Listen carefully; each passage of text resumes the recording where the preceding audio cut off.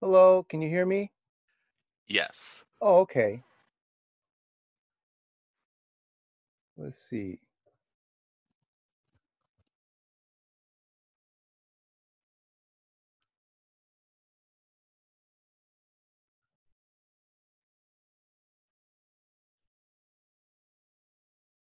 Okay, I'm just trying to get set up.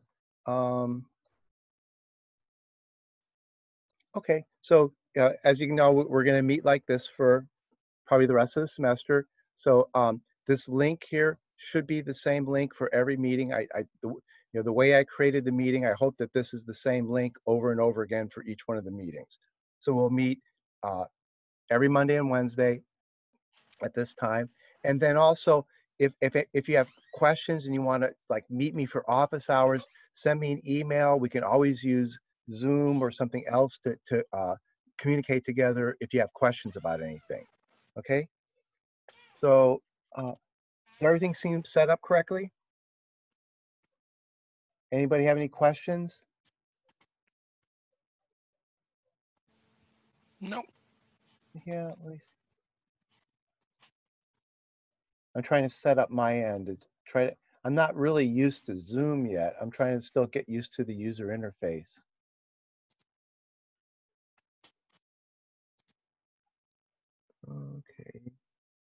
Okay.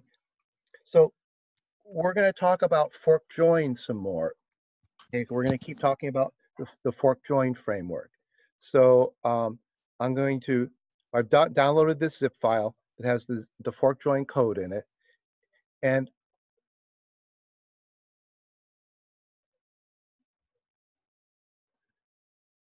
okay, um, well, well,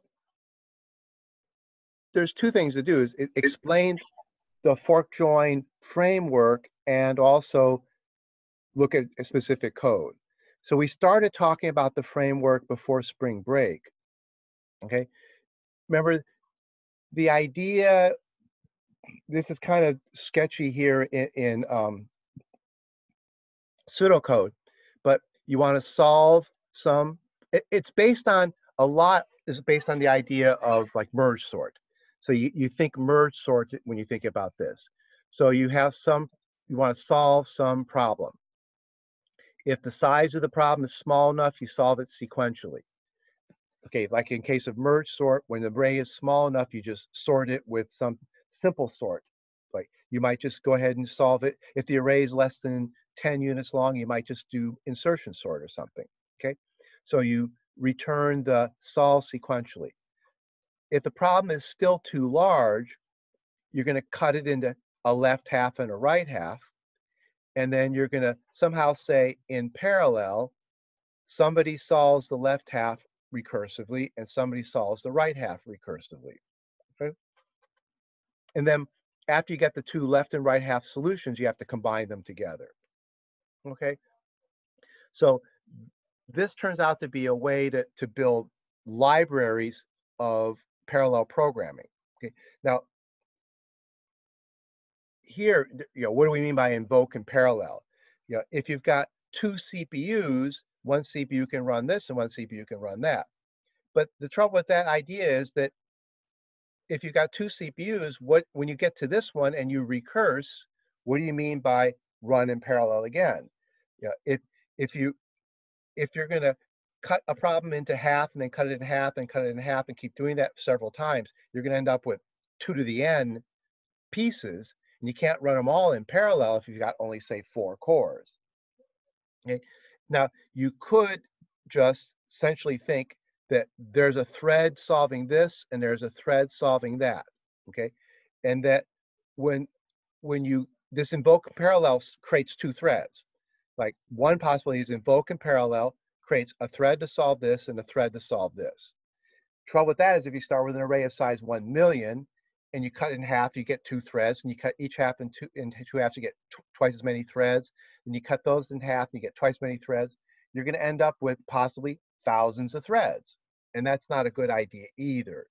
So the thing is to figure out a way to make this framework work in an efficient way. You you can't have you don't want to make it so that there's thousands of threads. where you took an array and cut it in half, and one thread does the left half, one thread does the right half. Then you take each half, cut it in half, and then you create a new thread to do half of that. And then we have to create, you know, you have to keep cutting things in half and creating new threads. Okay, so when we talked last week, the difference between a task and a thread. Okay, a, a thread is what we've been talking about with with pthreads. The operating system creates a thread that will run through some code. A task, now we model threads with functions. So essentially a thread is a special kind of function call. What we're going to do now is have these things called tasks, which are just fun which are functions just like threads. And the idea is that we map many tasks to one thread. So we could have the operating system create a thread, but then we have to we want to control the thread, essentially like drive it. We want to drive it through a bunch of tasks so that one thread will do one task after another task after another task. Okay, and that's essentially how we're going to make this make sense is that we're going to have a small number of real threads, but we're going to have a large number of tasks. And each thread will just start solve, each thread will grab a task, run it till it's, yeah, which means it'll call that function. The task is a function. The thread calls that function. When the thread returns from that function, the thread doesn't die. The thread just gets another task and calls that task. And then when that task returns, the thread grabs another task. Okay, and we keep repeating this until there's no more tasks. Okay, right. So um, we the best way to describe this is with pictures. And one problem is I'm I'm still struggling with a way to draw pictures uh, on this computer screen. Let's see if I can. Um, there's a whiteboard here. Doesn't make it very easy, but okay. So the the the you know we talked last week about what we call thread pools and task pools. Okay, so uh, suppose I have I can have a thread. Let's see. I can have a thread one and a thread two and a thread three. Okay, suppose I have three threads, okay? But then I can give each thread essentially a data structure that'll be its task pool, okay? So I'm gonna think of it as an array, but it's not gonna be an array like an integer array. It's gonna be an array of tasks. So essentially, this array are pointers to task objects. Okay, so this it's an array of tasks. Okay, so each element in this array points to a task, and a task is a object with just like a run.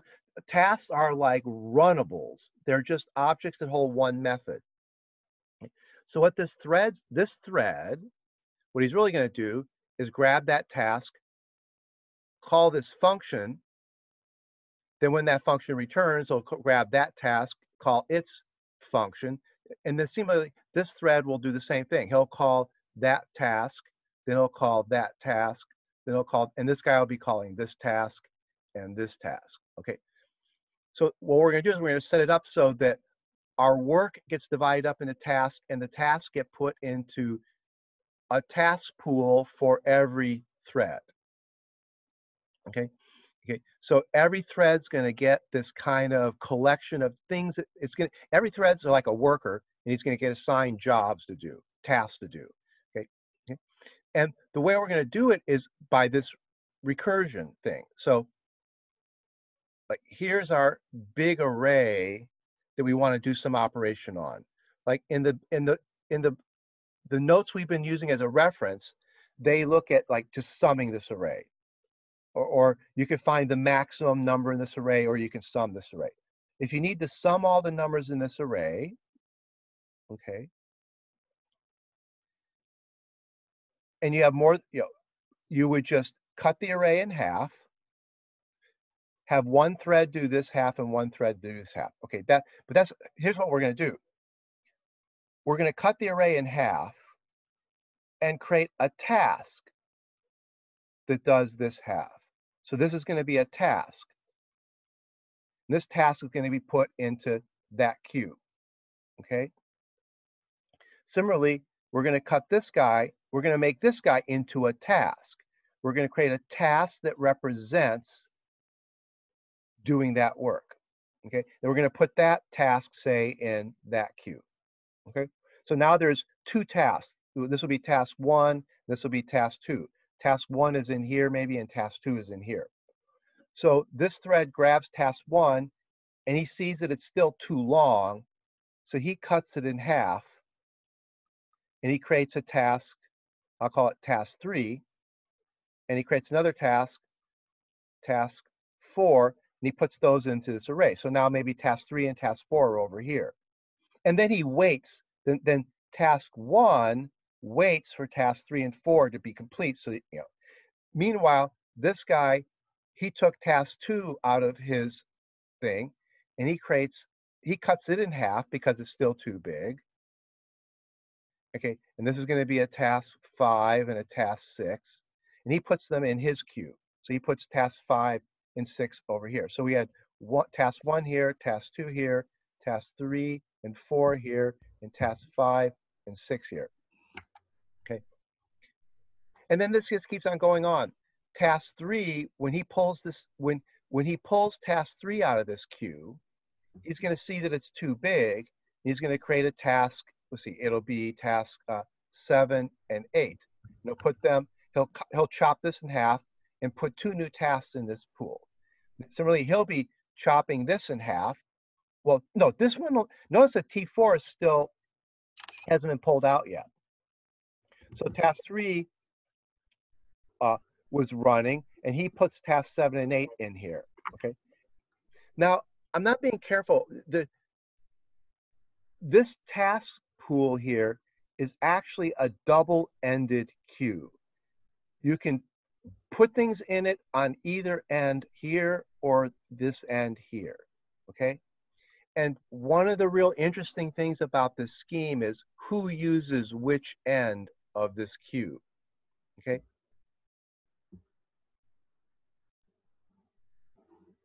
When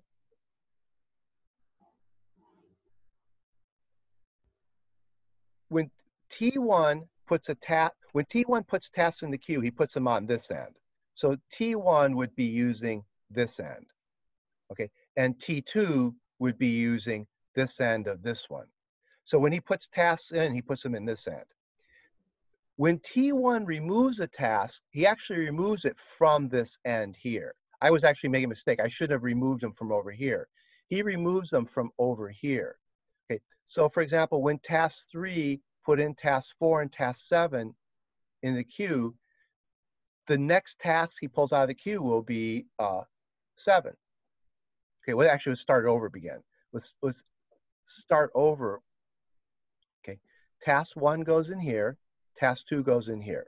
Okay, task one will pull, will push three and four into there and task two will push five and six into there. Then task two has to block because he's waiting on five and six, and task one has to block because he's waiting on uh, three and four. Okay, so when task one blocks, this thread has to get something else to do. He doesn't get three. That was a mistake. So he doesn't get three. What he'll get is task three. Let's see. Um, we don't have, let's see, don't have these yet. Okay. Okay. So task one, he split his work into two tasks, three and four. He put three and four into the queue. Okay. He put three and four into the queue. Okay. When one blocks waiting on three and four, this thread's got to do something. So the thread grabs four out of the queue. Okay he actually grabs four out of the queue and he'll cut this in half and he'll create uh, five. Let's see, I'm in the wrong drawing tool here. He'll create five and six. Okay. Meanwhile, two, well, it, two could then create a seven and eight, say. Okay, task two will create seven and eight. Okay, All right. When task two puts seven and eight in this in uh, in the queue, task two is blocked because he has to wait till seven and eight are done to be able to join them. So then you grab eight. Okay, so you'll grab eight, but eight will be cut in half. So that'll create two threat two new tasks that go here and here. Like up here, we have three, four, five, and six. Okay, when six gets pulled out, let's see, six was actually cutting three in half. Six was from cutting three in half, so this was five and six. Okay. All right, so when six gets pulled out and gets cut in half, notice that what's piling up over here are smaller and smaller jobs. On to the right, you're piling up smaller and smaller jobs. Okay, so for hmm? So maybe this is nine and ten. Okay, small jobs grow. You when you pull when you get a job out of the queue, you get a job out of the right end of the queue, and you put things into the right end of the queue. So that means you keep putting smaller and smaller and smaller jobs on the right. And the bigger jobs are over on the left. Okay. Um,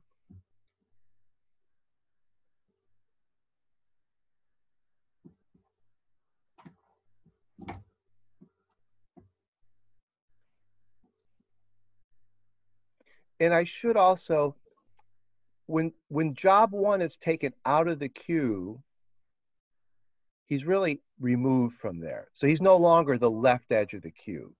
Similarly, two is not there anymore. He's not in the queue. He's actually, you know, task one was removed from the queue and split into three and four. Task two was removed from the queue and split into seven and eight. Okay. Then task three was removed from the queue and split into five and six.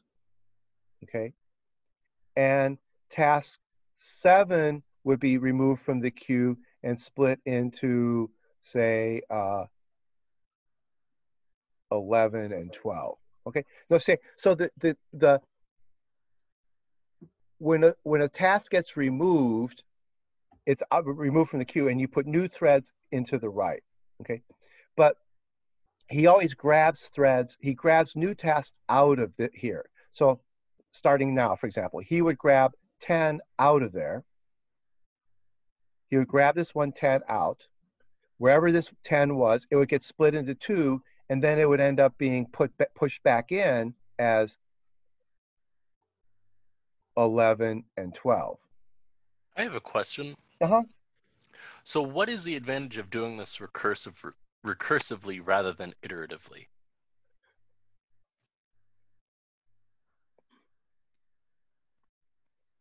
It's easier to write recursive functions and the recursion takes care of the ordering of these things in a nice way.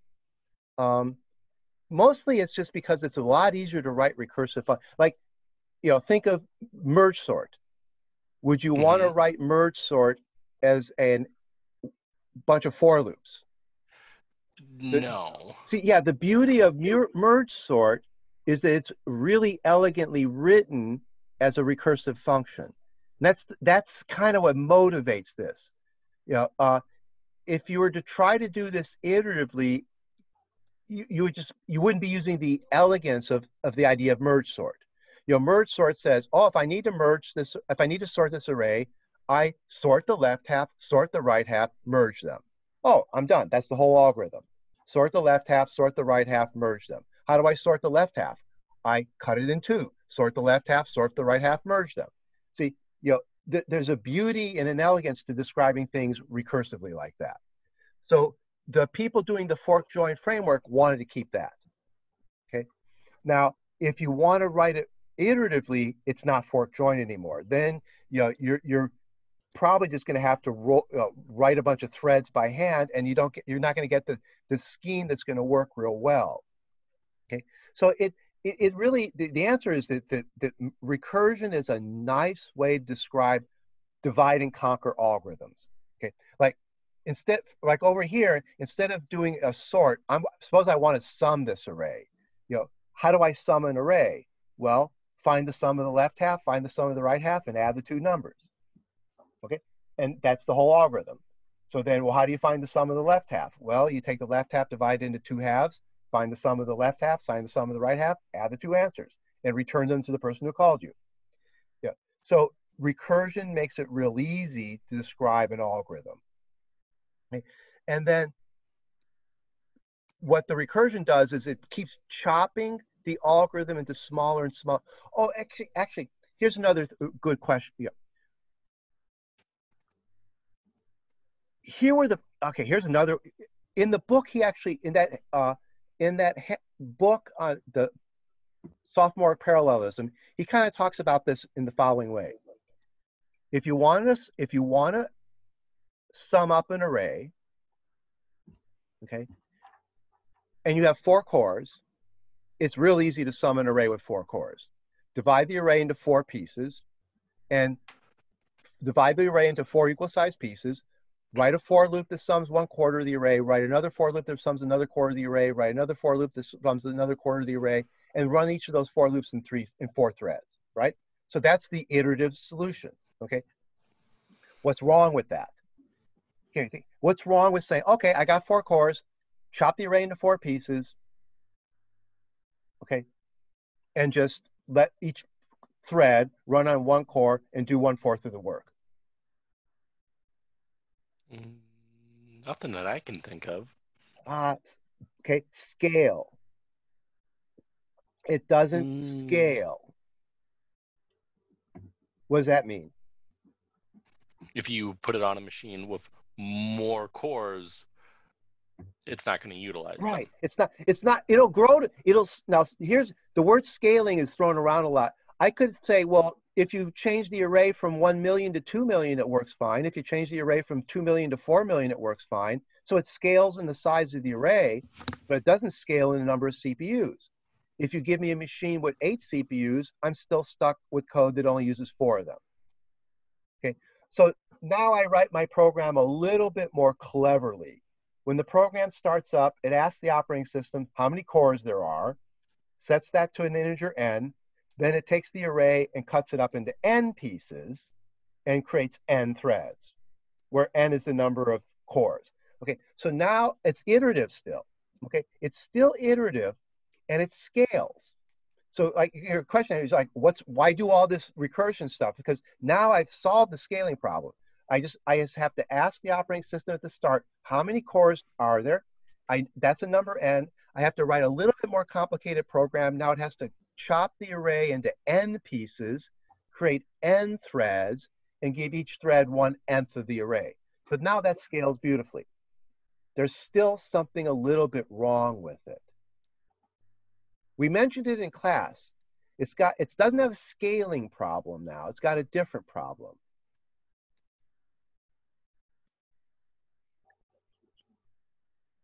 It's mm. got a load balancing problem. So you remember what we mean? It's got a mm. load balancing problem. You may have a, a hardware threads that sit idle when you f- towards the end of the runtime. Yeah, because if it's certain threads might finish faster. Yeah, exactly. So you've got eight threads, and you've chopped the array into eight pieces. But it could be that two of those pieces finish super fast or faster than the other six. So now two cores are just sitting going, yeah, I'm done, and, and being real lazy and not helping the other cores that are working hard. So that's called load balancing.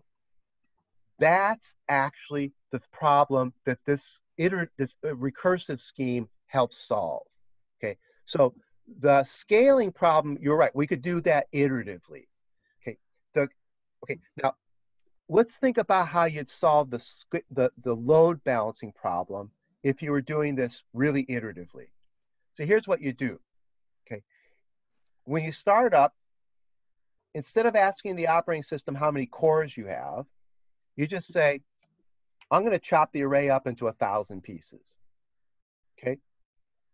I'm going to chop the array up into a thousand pieces and launch 1,000 threads. Okay, and then those that 1,000 pieces are they're, they're not none of them are very big, so it's a lot of little jobs.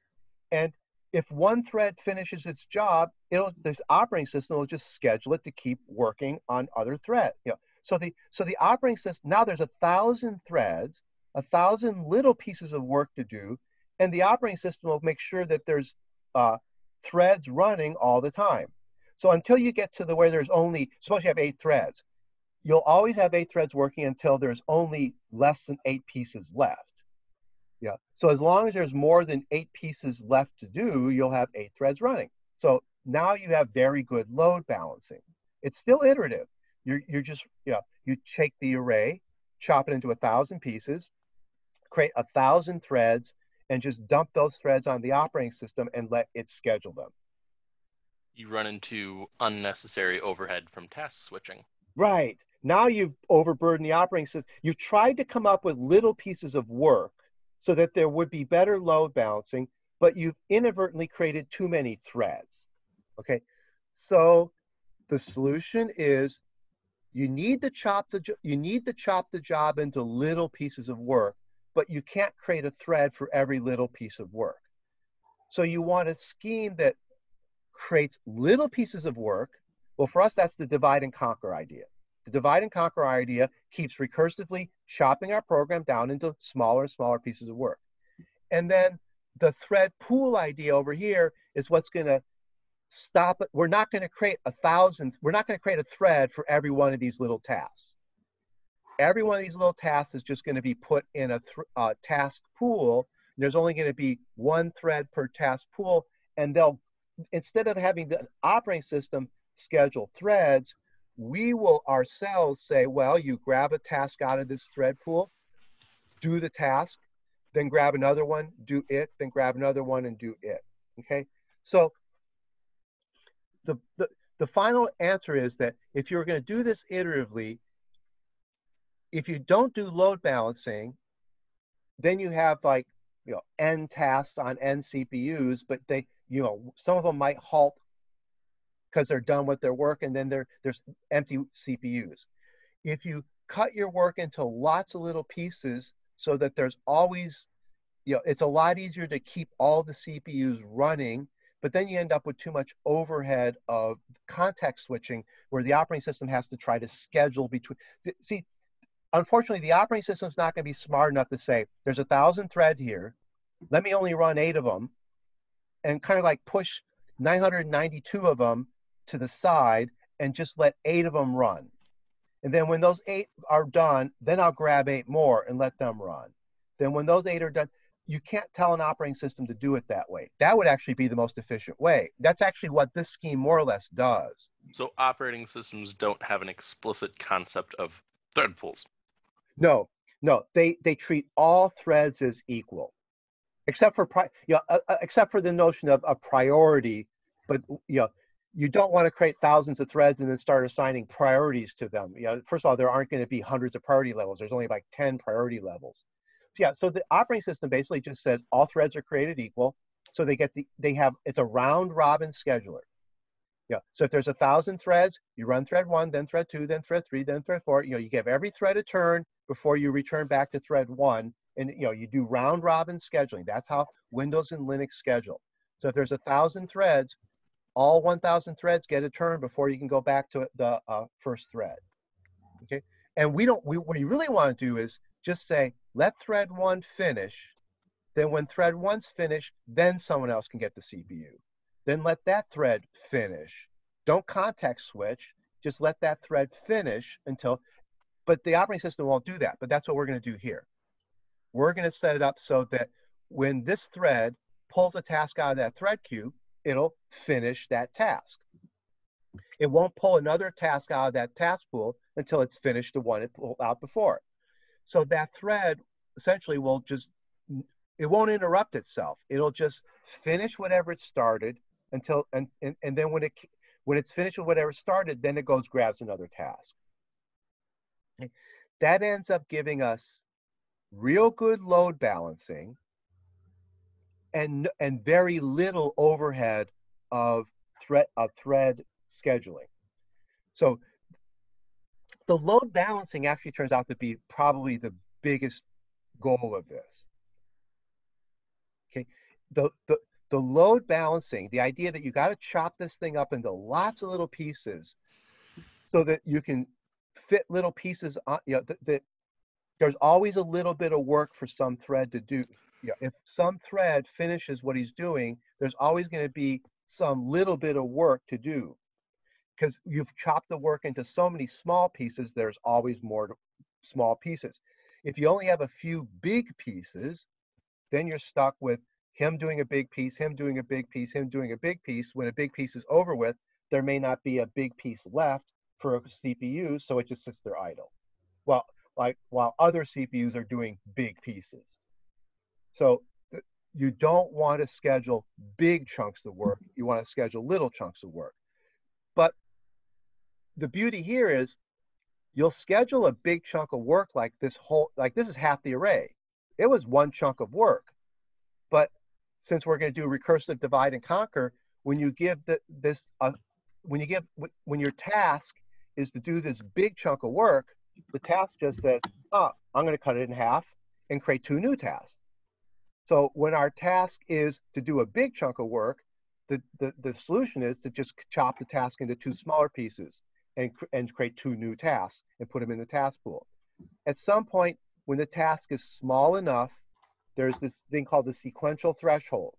When you hit the sequential threshold, then the task is small enough that the that the task is to do the work. If it's if it's sorting an array, and if your threshold is 100 and your array finally gets to be size 100, you sort it, say, with insertion sort. If your ta- if your job is to sum the array, when the array hits 100, you just add up. You just do a iterative for loop that iterates through the array and adds up the 100 numbers in the array. So you end up with this sequential cutoff that says, oh, when the task is finally what we think of as a small task that's not worth cutting up anymore, then we just do that task. Okay. So the strategy is you're going to have big tasks at this end of the thread at the work pool, and you'll have you'll keep getting smaller and smaller and smaller and smaller tasks at the at the little end. Okay. Eventually, the tasks that down here are little enough that they're actually being finished. Then you kind of go back up the thread pool and you get back to where you started. Okay. Okay. Now there there is we'll we'll talk about this in detail a little bit later but there is the idea that one of these thread pools could empty out while another thread pool still uh, got work to do. Okay. One of the tricks of this scheme is that if one thread pool empties, like here's a completely empty thread pool. Okay. When a thread pool empties, it needs a job to do. So when a thread pool is empty, it should reach into somebody else's thread pool and grab a job. Now remember, the thread pools have bigger jobs on the left, smaller jobs on the right. If he's got nothing to do, what's a better thing for him to go grab?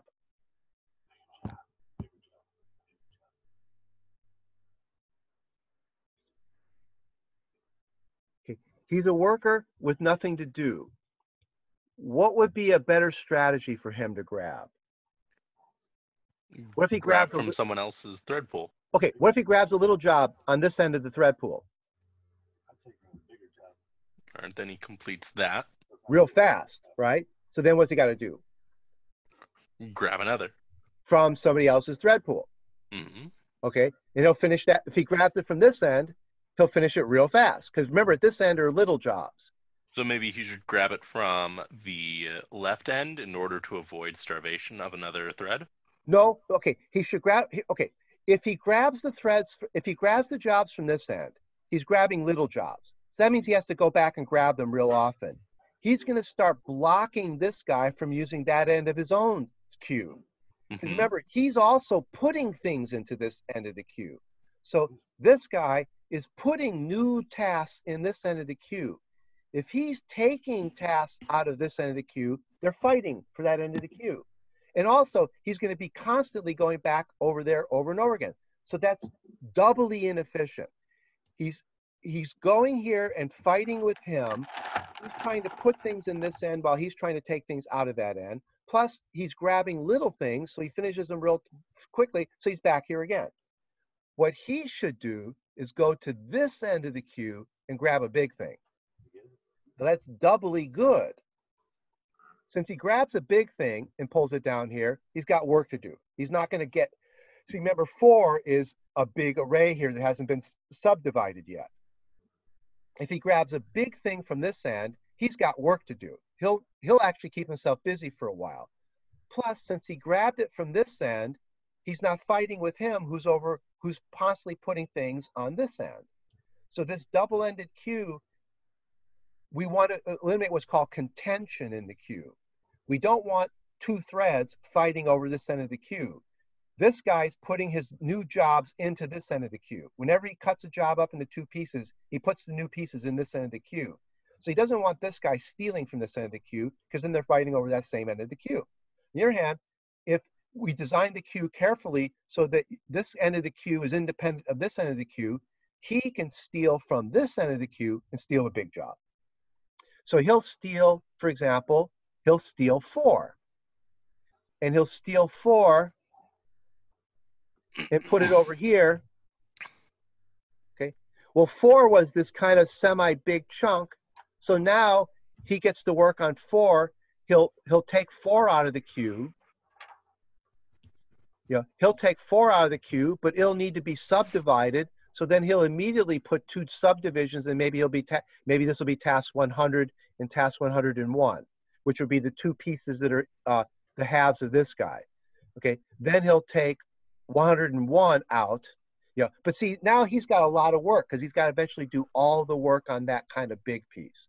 So when one of these guys runs out of work, if if he should ever run out of work, he'll grab something kind of big out of the left end of one of these guys' queues. This is called the work stealing aspect of this. When a when one thread is has no more work, he steals from the left end of another thread's work queue. By stealing from the left end, he steals big jobs.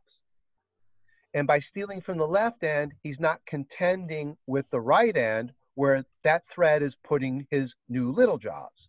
Okay, and then once he's stolen a big job and put it over here, it's going to take him a while to finish that big job. Okay, that's the load balancing. That's part of the load.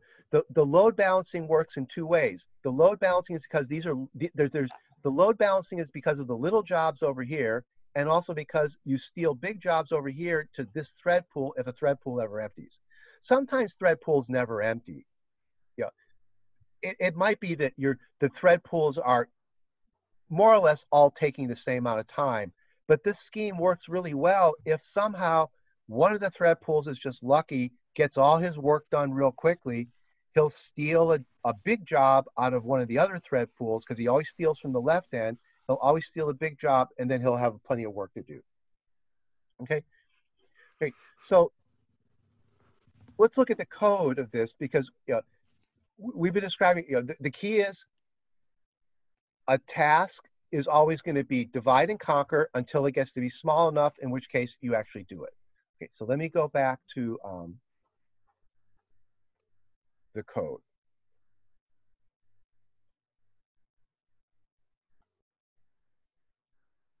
Uh, let's see where there it is. Okay.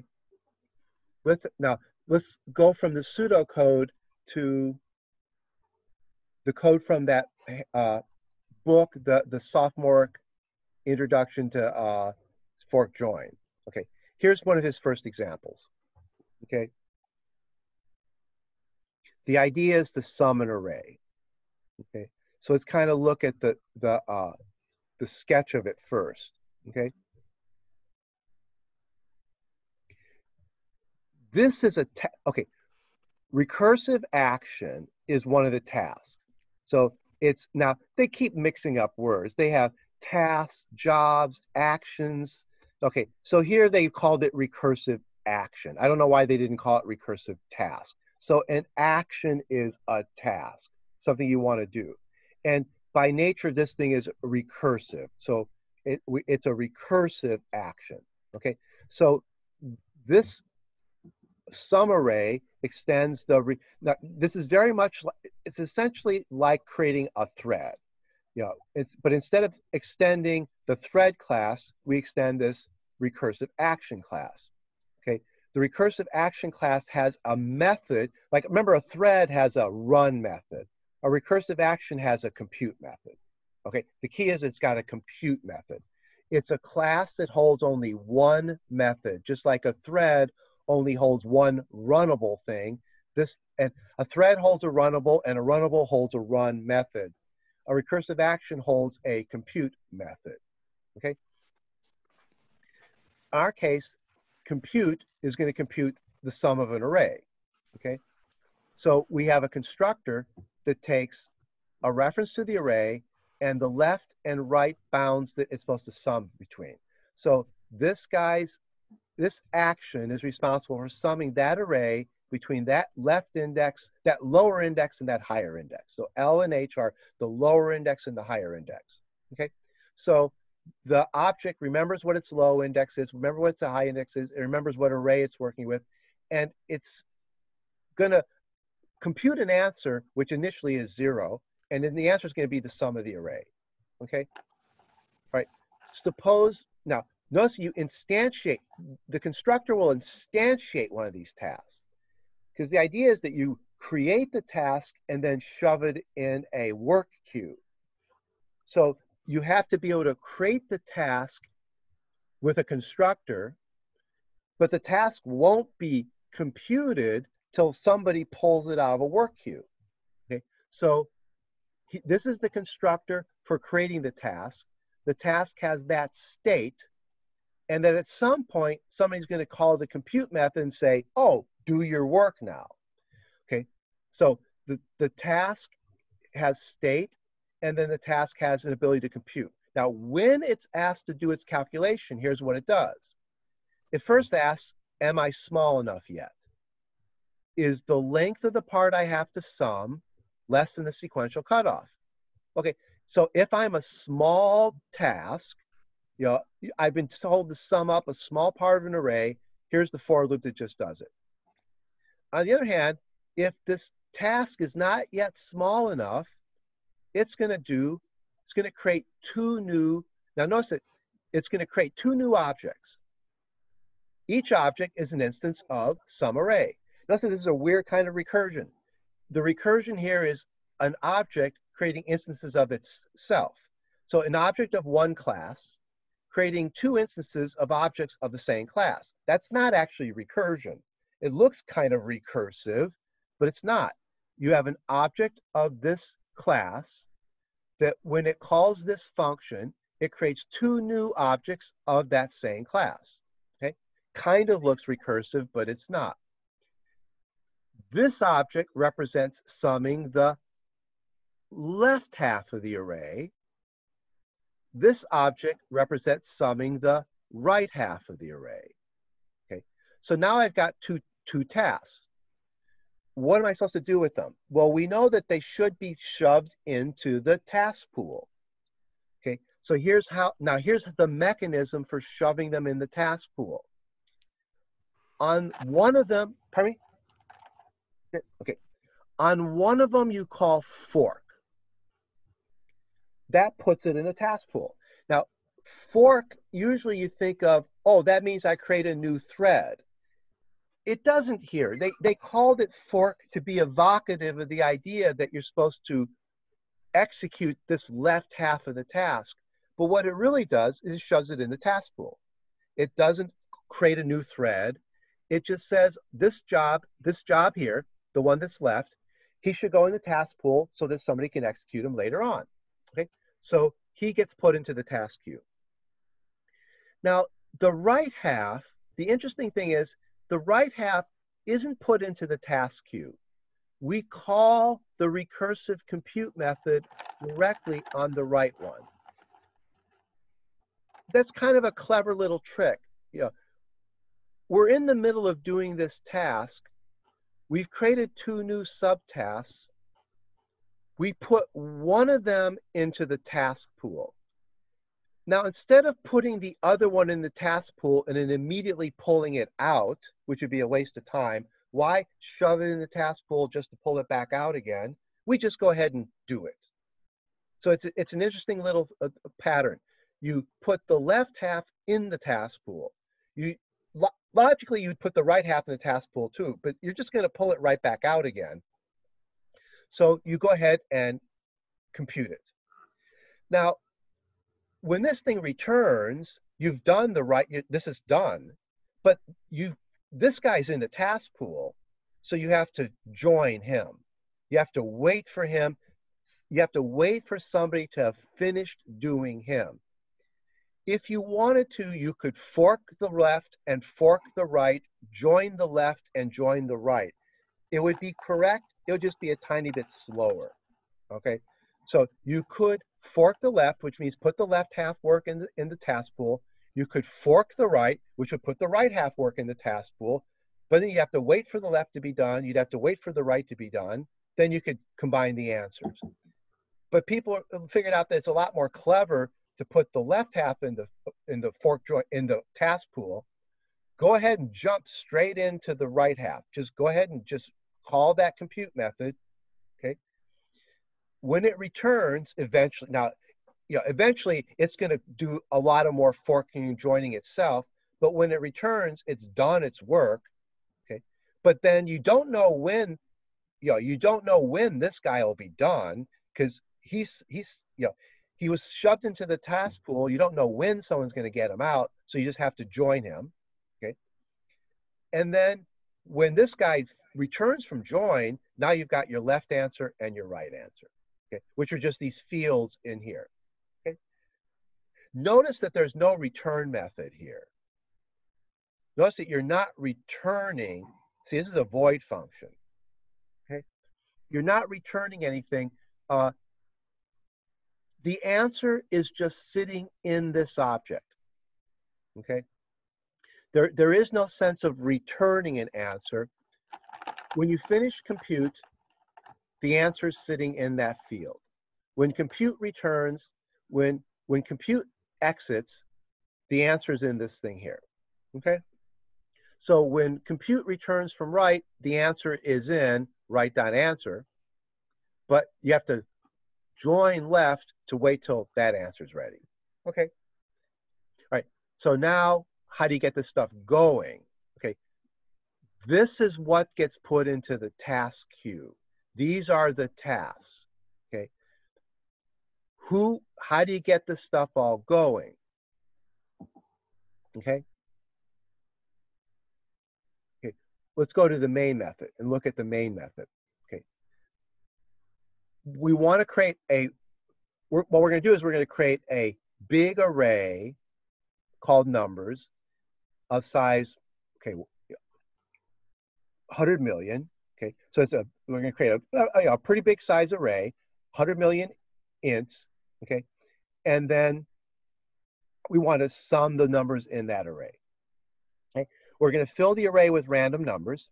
So fill the array with random numbers we're going to want to time ourselves. So we need some variables for doing timing. Okay, this is the final result we want to compute. In SumArray, we have that, remember we have this field here decides what's the cutoff. At what point do we stop doing recursive? At what point do we stop recursing and go straight to sequential? Notice I gave it an initial value here, but if I want to, I can override. If I want to, I can override that value. Okay, so here I'm overriding it. Okay, so over here it'll set to 1,000, but down here I say, no, I'm going to change it to 5,000. But you can play around with that number. So you can change that sequential setup. Right now, the sequential setup is 5,000. The array starts out as 100 million. Okay, so there's a lot of 5,000 pieces there. So it's still going to get cut up into lots of pieces. Okay. Do some bookkeeping to keep, track of, uh, well, do our start set up our start time. Here's where we actually do the fork joining. This starts the fork join process. And then, So this is a, the thing that does fork join.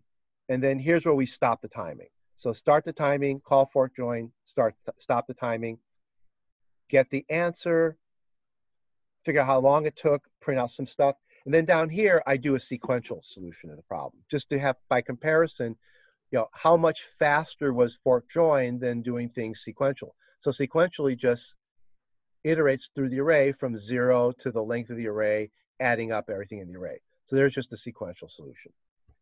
And believe it or not, the sequential solution most of the time is faster than the fork join solution. So I'm still trying to figure out why that is. Okay, but we'll, we'll run it and we'll see what happens. Okay, so what is over, now this is the thing that does the fork join.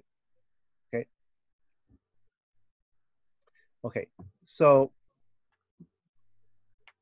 this is kind of just a, a, a, holding class to hold some, to, this, the, the hold some code that starts the fork join process. Okay, so sum is a static method in this C class. Okay.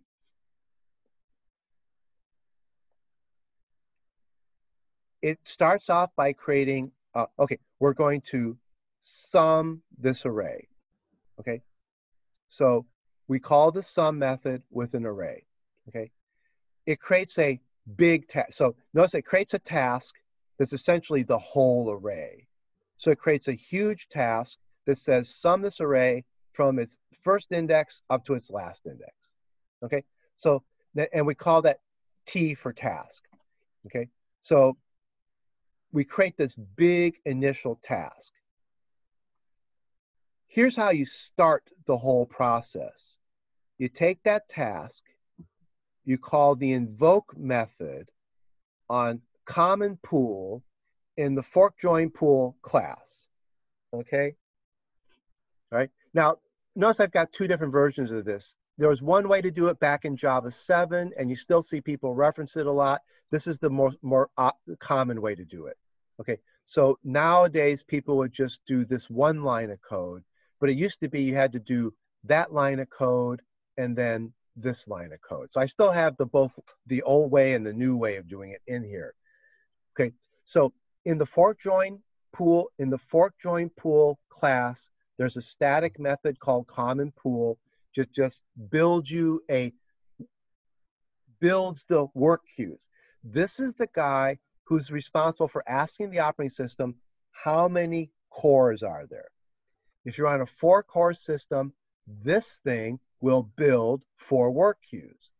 If you're on an eight core system, this thing will build eight work queues. So this is the one that knows how to do the asking the operating system how many cores are there, and it builds a work queue for each one of those. Then what it does is it invokes, it, it has to, okay, we have to put the initial task in one of the work queues. Okay, suppose we have eight cores Okay, we only have one task to begin with. That one task is put in one of the work queues. Oh, what's up, Andrew? Um, what about tasks that are not CPU bound but IO bound? How do oh, we you can't do balance that those? Oh, this is yeah, this has got nothing to do with that. Okay. This is a framework for only doing CPU bound stuff. Yeah, this, this is uh, you couldn't write out. Yeah, this is not something you use for writing a web app.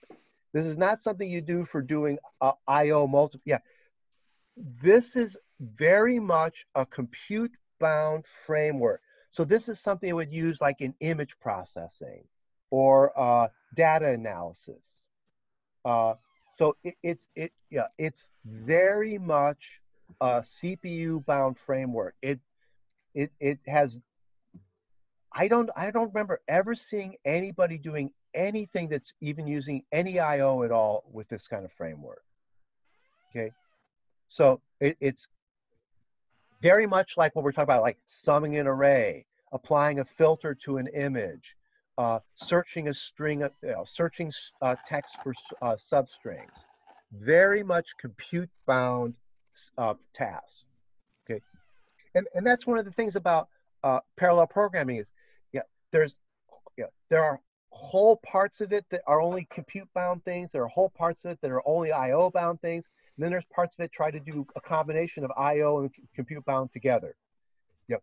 Last week we were talking about trying to do things that were more I/O bound. You know, when we were talking about using uh, events and polling and threads, we were looking at doing I/O bound, interleaving I/O bound tasks. Now we're really switched gears to looking at interleaving nothing but compute bound things. Andrew, how did you raise your hand? Is there, where is that? There is an actual button. So if you're not in full screen mode, there is on the right hand column a raise hand button. Probably you guys see it and I don't because I'm the, I'm the, I'm the, like the, I'm, yeah, because I can't, let's see. Yeah, I don't have a raise hand button. It's kind of used, that's kind of neat. Uh huh. Yeah, it puts a little Mhm. pop up on my desktop that just says raise hand and has your name. Yeah, so it has the name of who raised their hand and a little little hand symbol. If you click on participants, you will see an option on the right side bottom of the pop-up. Say again. If you click on participants, you will see the raise hand option. hmm If I do what? If you're a participant, you'll Oh be able yeah, to see so- it on the yeah, right hand yeah, side. Yeah, I don't see it because I'm not a participant. But that's actually it's good to know. I might I, I can point out to my other classes that there is a raise because mm-hmm. I asked one of my classes. I asked them, "Is there a way for you guys to raise your hand and let me know you have a question?" And nobody answered. So I don't know if they they may not have noticed that button. I didn't notice it in the last class because I had the system in full screen mode, so it literally just didn't show. Boy, that's kind of dumb interface. So when you so when you didn't maximize it, then you saw something that w- you didn't see before. hmm Okay, all right, but th- yeah, that. What else? Any other interesting buttons? Um, there's a group chat. there's Yeah. that. Yeah, I um, yeah, I, I yeah, I forgot about that. Yeah, there's a group chat. Uh, that's good. Um, I don't even remember how to get. Yeah, okay. Okay, but okay. So now, here's the okay. The the thing that gets the ball rolling is you've got this one big task, and it's put in one of the work queues. Now notice that that leads. Suppose you have eight cores. That's one work queue's got a big task, and seven work work queues got nothing in them. Okay, can you think what happens? Can you see what's going to happen now? There's eight work queues. One of them's got a big task in it.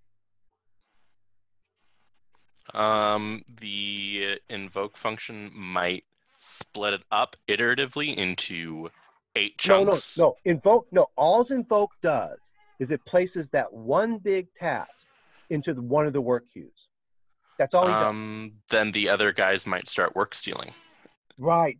That's the key. So, okay. So invoke puts the big task into one guy's work queue. He pulls it out and he immediately cuts it into two pieces and puts those two pieces in his work queue. Another thread immediately steals one of those pieces. Okay. Then remember that guy, the guy he, he he put one of his pieces in his work queue and he did immediately he called compute on the other one. See, like suppose this is suppose we're up here on the really super big piece. So we take the super big piece and cut it into two half super big pieces. One half is put into the work pool. It immediately gets stolen by somebody else. And then we compute on the second half.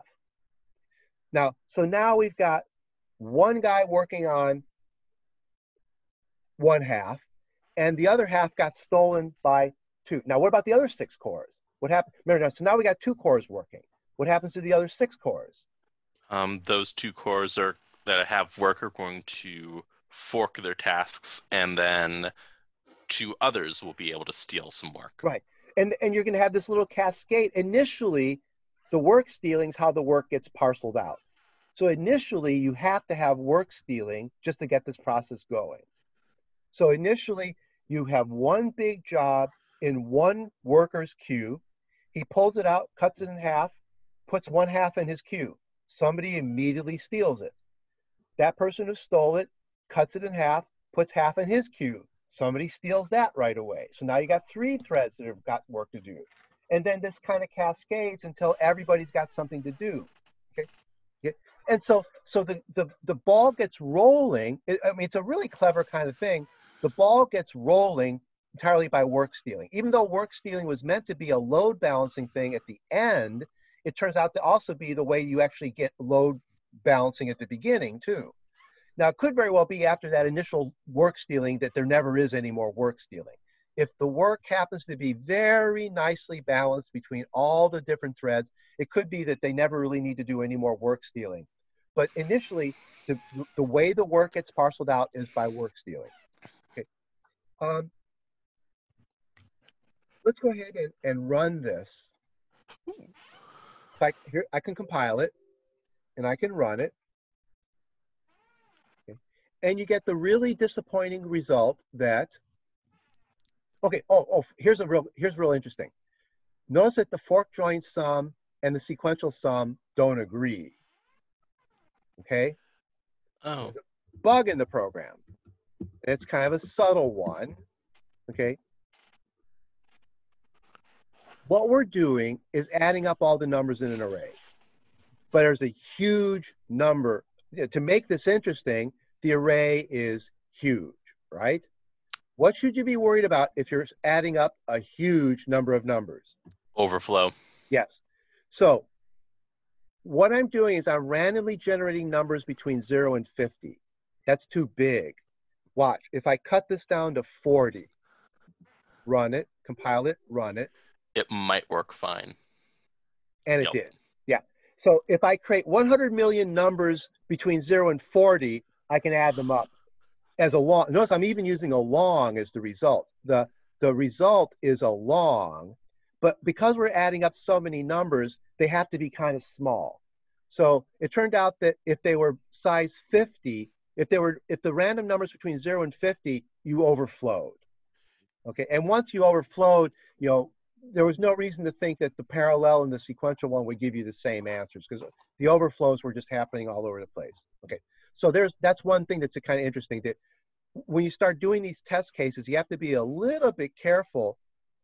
You know, in this case, I you know by keeping the numbers that we're adding up small enough that we're not going to overflow. The other thing that's kind of disappointing is fork join. Oh, fork join was faster this time. Oh, just a little. Okay, thus fork join solution time was 59 and the sequential solution time was 74. So fork join was a little bit faster. Okay, so before I was getting I was getting faster sequentials than fork join, but this time now let me make this array bigger. Now, as the array gets bigger, the fork join process will get uh, better and better at this. So like this is an array of 100 million numbers. Now let me go to 200 million numbers. Now I may have to make the integers smaller because now I may be back to having an overflow problem. Um, you almost certainly will. Yep, and I did have an overflow problem. So make the numbers smaller. So let's let's just cut them down to like tw uh, 20, okay?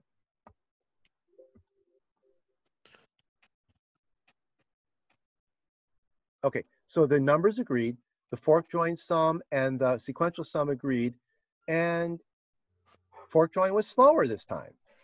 Um, you might have a problem with your minimum problem size. A thousand seems kind of small. Right. Yeah. So let's. So that's where you kind of experiment with this stuff. So let's maybe because what would be wrong with having too small the small size? Um, the amount of time that it takes to construct a thread and get it running would dwarf the No, amount of time not- it takes. No, they're not. Remember, there's only a, there's only as many threads as there are cores, Mm, but they still have to construct all those dinky. There's lots of little tasks to create. So let's try. Yeah, let's try. So y- y- you're. I it isn't. It may not be the creation of the threads because we're not creating threads, but we are creating tasks. So we have Mhm. to create these sum array tasks. So maybe we're creating too many of them. So let's make the sequential cutoff. Is there a way to automatically tune that value? No. Yeah. Uh, Like as it as it's running, it sees that oh, th- it's taking less time to actually run the task than it is to construct the task. Yeah, I should I- increase my problem size. I've never seen that done. I don't know if that could be done dynamically. You know that yeah, because you uh, you want the sequential cutoff time to be much larger than it takes to just yeah. If if if it takes longer to create these objects than it takes to compute them, then it's a real waste of time. So you're right. You you I don't know. I've never seen anybody do that. So let's And- see. Our, our sequential cutoff time is five thousand. Let's let's try it double it, ten thousand. Okay. So let's try a sequential cutoff of 10,000.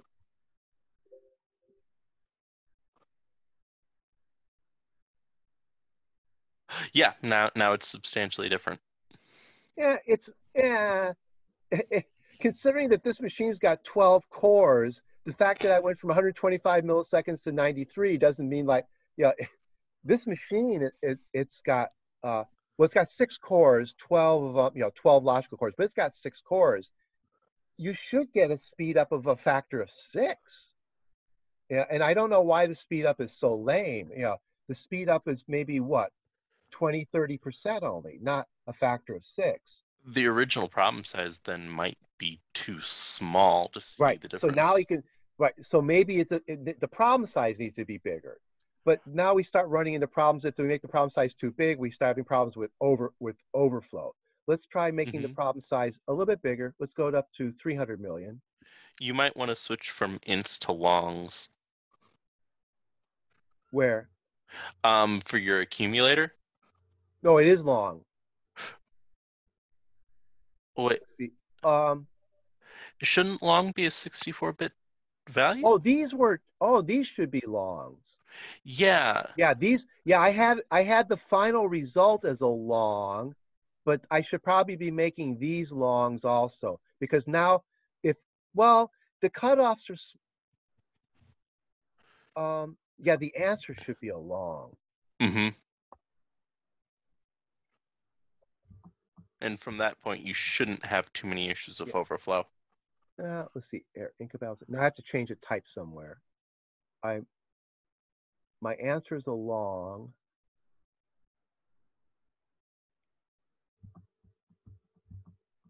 Um, could it be in Oh. your summation? Long, no, the return type is long here. Mm-hmm. There, I, so I have to return, I have to return a long here, okay?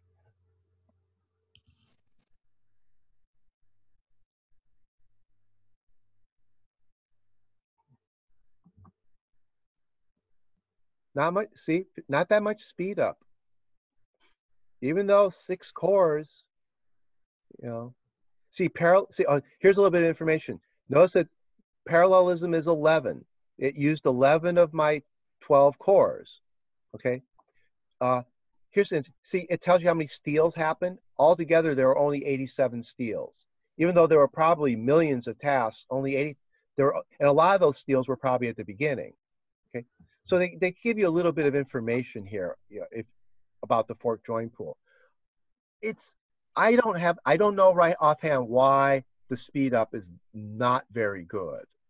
Um, Um, let's see, you can watch the, you can watch it in the task manager.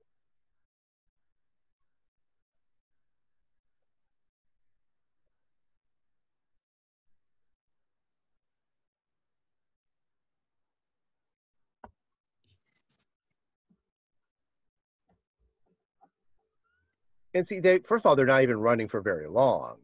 Yeah, that uh, that may be the issue. It takes Oh, you longer know to what else? construct the thread pools than it does to take. No, no, I'm, I just realized something. Look at my task manager. Oh, now I know what's going on. Stupid me. Somebody else figure it out. Look you at my ha- task You definitely have something running in the background. And guess what? What is it? Video chats. We're running a video client. Is your video client really taking 25% of your CPU? It very well could be. I mean, I don't know how well written Zoom is, Um, mine's only chewing up five to six percent. but maybe because I'm the leader of it. See, remember, I've got, yeah. Do you see all your other, you see all your classmates? Do you guys see each other? Um, you're the only one running video. Yeah, I mean, I, actually, right. So I see a blank screen for all of you. Mhm. So, uh, and I, but um, hmm, No, but I'm I I bet what's screwing this all up is the fact that on all you know, there's a lot going on on these cores. Because yeah, I'm using up 25% of my CPU time is already going to uh, probably to uh, Zoom. Huh. I'll have to. I'll do some experiment. Maybe after you know this is done. I don't. It might not be that. It might not. It might be something else. There might just be something else that's keeping this from being. Uh, I mean, with with six cores, summing an array, this is trivially parallelizable. It should end up being at least two or three times faster with six cores. I I wouldn't expect it to be six times faster, but I sure would expect it to be at least two or three times faster. Instead, it's only about 20% faster. I could try doing a huge array, but then I'll probably get overflows. Let's see. Now, if I want, Um, you shouldn't get overflows anymore let's see. because Okay. you've switched from int to long. You might get an um, out of memory error. Yeah, I created a batch file to, to deal with that. I didn't. Okay, fork join's starting to move ahead. Okay, notice now it's starting to, to be, yeah, that was a, a good 30% faster. Let's uh, bump up the size. I don't know how big I can go, but I did create a, a batch file to be able to go far, to, to be able to go. Ah, see now I ran out of memory. So uh,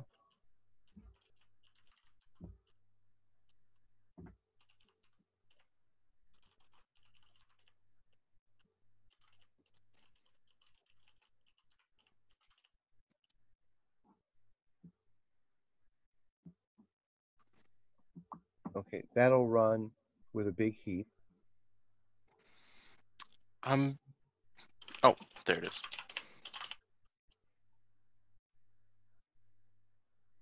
So there, there it's running with a big heap.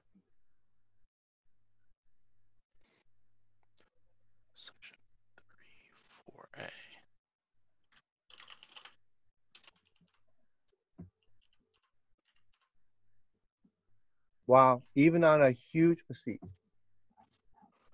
even on a huge job, fork join wasn't that much faster.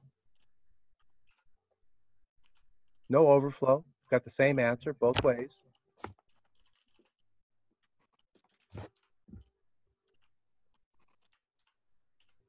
Let me try one more. That's really big. Run it with a big heap.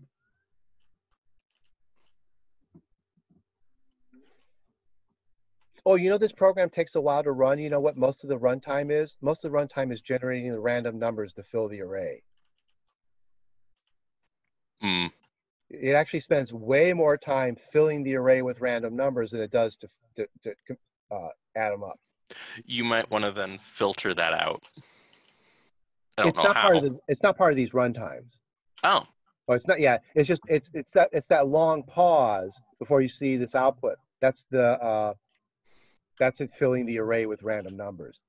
So 400 versus 500. Tw- Yeah, a 20 percent inc- a- a 20 percent increase in speed to using six cores. That's nothing to brag about. So there's something. Like this is the example from the that book. Okay, and it's a good example for explaining the idea and the uh, but i'm not sure why it's having such a bad it's doing such a bad job of, of speed of getting speed up. You know the speed up is really mediocre. Okay now let's see. We're we're done. Okay we've gone the hour and 15 minutes right? Hmm um,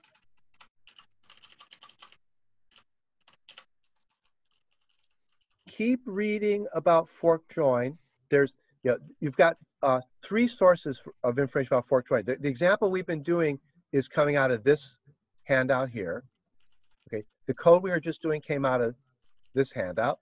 Okay, and then there's uh, a little bit about fork join back in this chapter four on modern concurrency, but it was only a, a couple pages. And there's two nice articles right here explain a little bit about the work stealing and some other things. So, so uh, keep reading about fork join, and then we'll do some more examples on on Wednesday, and we'll see if I can sort out. You know, maybe it's a tuning issue. Maybe we need to keep tuning things like the cut off, the uh, the sequential cutoff, and uh, you know, maybe the sequential cutoff is still too small here. You know, or you know, you know, but we'll we'll see if we can figure out like what we're not getting very much speed up. So we're you know, I'm try it at home. Run this program on your machines at home. Like maybe the problem is because I'm my background. Maybe there's too much background noise in my machine. Maybe having uh, Zoom running in the background is, is screwing up our numbers too much. So you guys should play around with it. The code is, you know, the, the code is here. There's a, uh, there's a sum array example, a sum of squares example. Then there's an example that finds the max of an array. If you, here's the batch file that lets you run it using a huge heap.